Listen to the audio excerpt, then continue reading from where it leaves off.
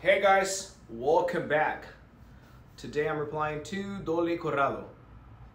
¿Y cómo se dice en inglés cuando es dolor de muela? Ok, dolor de muela en inglés se dice toothache. Toothache, lo vas a ver en la pantalla, toothache. Entonces, si tú le quieres pedir a tu jefe o a la compañía, hey, ¿crees que me puedo ir temprano? Do you think I can go home? ¿Verdad? Como, ¿crees que me puedo ir a casa?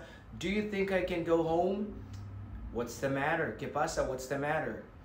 I have a toothache. Le dices, I have a toothache. I have a toothache. Tengo dolor de, me duelen las muelas, me duelen los dientes. En general, ¿ok? No habla específicamente una muela. I have a toothache. Así dices en inglés. I have a toothache, ¿ok?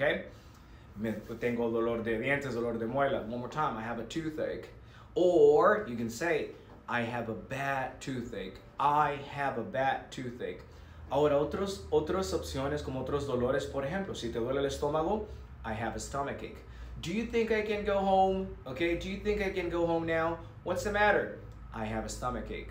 I have a stomachache. Do you think I can go home now? What's the matter? I have a I have a headache.